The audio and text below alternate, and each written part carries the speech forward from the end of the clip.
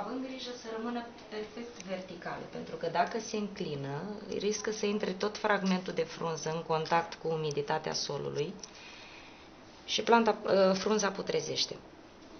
Deci am înfipt cele două jumătăți de frunză în sol.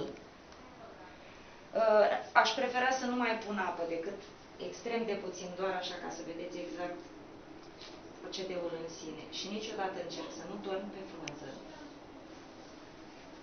După care acoperim fie cu o folie, fie folosim genul acesta de casolete cu capac transparent. Partea de jos a casoletei poate să fie și mată sau translucidă, nu are importanță.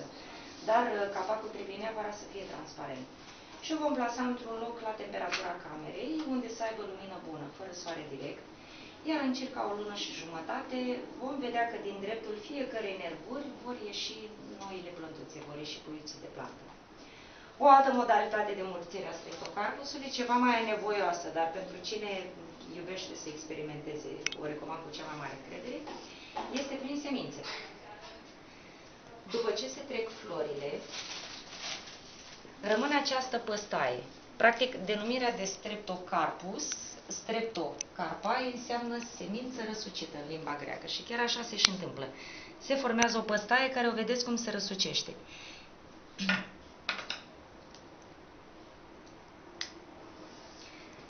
În momentul când este foarte bine coaptă, ea are un aspect bej. Asta încă nu este foarte bine coaptă, dar semințele se pot recorda.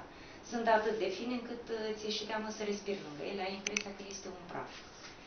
De aceea și furnizorii care vând doar semințe de streptocarpus, neștiind cui vând și bănuind că sunt începători, uh, menționează, stați liniștit, punguța nu este goală, semințele sunt atât de fine încât aproape pot fi confundate cu praful. Și vom face în felul următor. Tot într-o casoletă, aș fi făcut eu, dar nu mai am niciuna la îndemână, se pune un strat de circa 2 cm de pământ,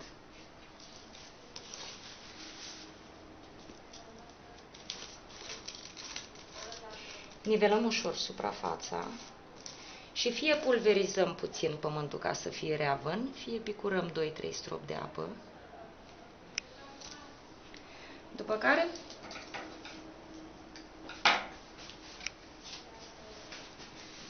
Vom scoate semințele de păstaie pe o coală albă.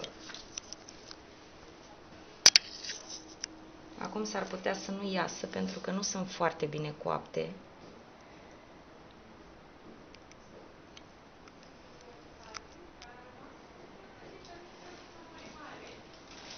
Și dacă cumva avem emoții că nu le-am scos pe toate, putem fărămița foarte bine păstaia aceasta între degete și să o presărăm cu totul.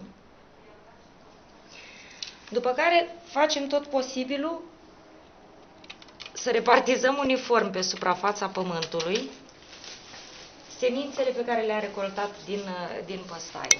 Dacă ai pune păstaia în pământ?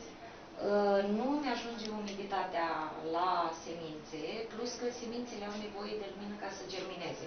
De aceea nu se toarnă sol deasupra, ci se lasă expuse la suprafața pământului și mă folosesc de bucățile de folie alimentară ca să creez acel efect de seră.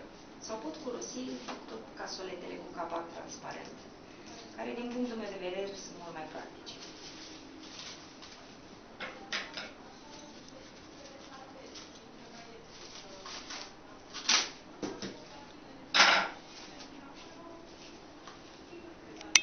Acopăr recipientul bine, iar pentru a evita apariția mucegaiului, cu o scobitoare. Eu n-am acum ori de mână, așa că voi folosi foarte crunt. Cu o scobitoare o să dăm câteva găuri ca să fie o permanentă aerisire. Și cu răbdare și tutun, după circa o lună și jumătate, maxim două, vom observa niște chestii minuscule, foarte verzi, care apar la suprafața pământului. Ele în timp vor crește, vor face frunzulițe mici, mici, mici, care vor face frunzulițe mici, iar când frunzulițele respective vor ajunge măcar de această dimensiune, atunci pot fi scoși din casoletă și plantați în pahare individuale. Cam asta este